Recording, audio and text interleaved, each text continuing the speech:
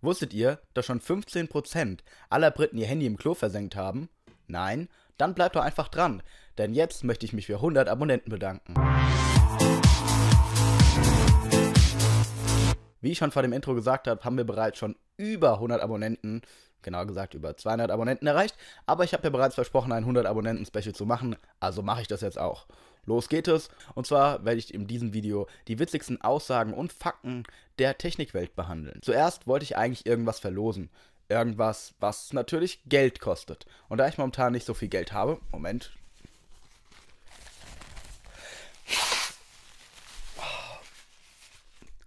Entschuldigung dafür.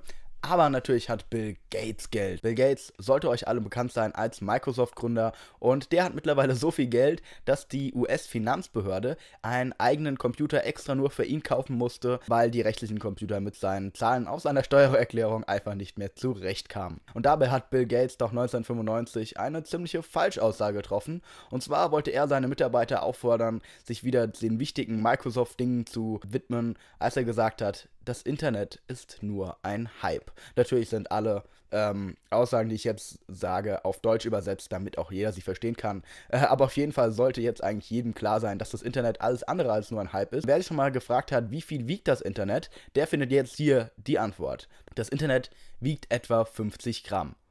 Jetzt fragt man sich natürlich, ja, wie kommt man jetzt darauf, dass das Internet so viel wiegt, etwa wie eine Erdbeere? Ganz einfach, man misst alle Elektronen, die durch den Datenstrom des Internets bewegt werden und dabei kommt man etwa auf 50 Gramm, wenn man eine Sekunde Datenvolumen misst.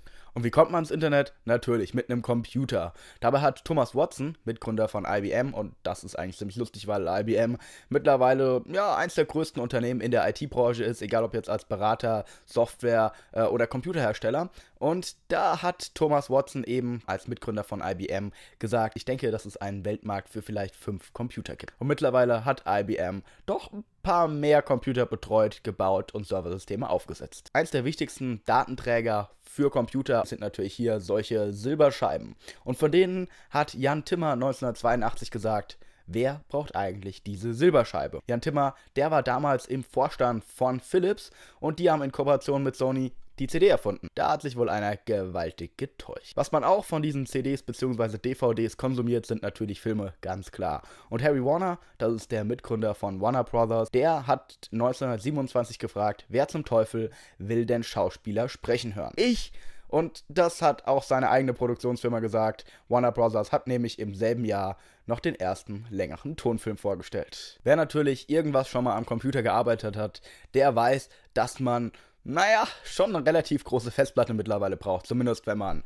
Filme, Musik, alles Mögliche halt verwaltet. Ein Video von mir hat zum Beispiel meistens so um die 2 GB Größe. Bill Gates war 1981 noch der Ansicht, 640 KB sollten für jedermann genug sein. 640 KB. What the fuck? Man muss natürlich zu allen Aussagen sagen, dass sie damals gemacht worden sind, vor einer Zeit, wo Computer noch schrankgroß waren und das Internet eigentlich noch nicht so weit voran war. Schrankgroß, das hat auch Steve Jobs bemängelt. 1985 hat er zum Beispiel gesagt, für einen Reporter, der unterwegs Notizen aufschreiben will, ist das interessant. Aber für den Durchschnittsnutzer sind diese Geräte nicht so nützlich und es gibt auch kaum Software dafür. Gemeint waren Laptops. Übrigens 1991, also sechs Jahre später, brachte Apple das erste Powerbook heraus. Steve Jobs war war übrigens zu dieser Zeit nicht als Firmenchef tätig. Und zum Schluss noch ein sehr interessanter Fakt zum Gehirn, zum menschlichen Gehirn. Das kann nämlich pro Sekunde 11 Millionen Bits aufnehmen an Informationen.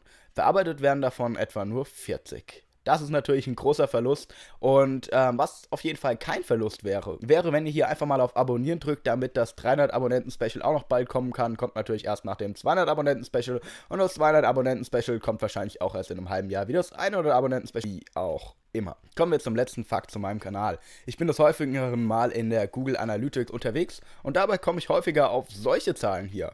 100% männliche Zuschauer. Kein einziges weibliches Individuum. Was ist da los? Bitte empfehlt meine Videos doch mal an die weibliche Fraktion weiter, damit es nicht ganz so maskulin hier bleibt. Ich würde mich auf jeden Fall über ein Abo freuen und auf jeden Fall nochmal ein heftiges Danke für 100 Abonnenten.